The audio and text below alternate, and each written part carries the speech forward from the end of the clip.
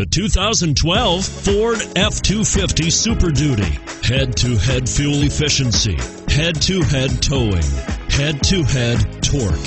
Ford F-250 Super Duty.